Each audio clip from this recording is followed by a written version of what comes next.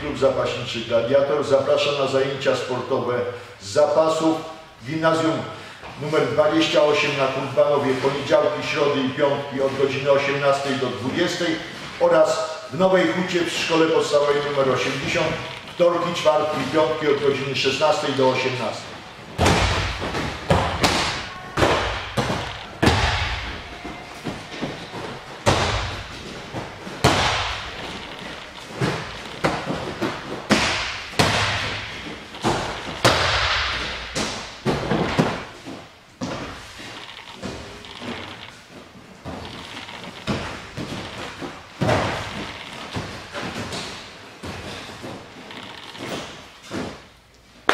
Jesteśmy jedynym klubem mało, w Małopolsce startującym od 14 lat w zapasach oraz w sumo.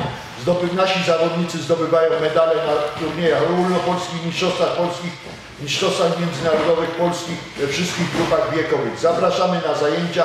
Sukces zależy tylko od Was, od ciężkiego treningu i Waszej pracy.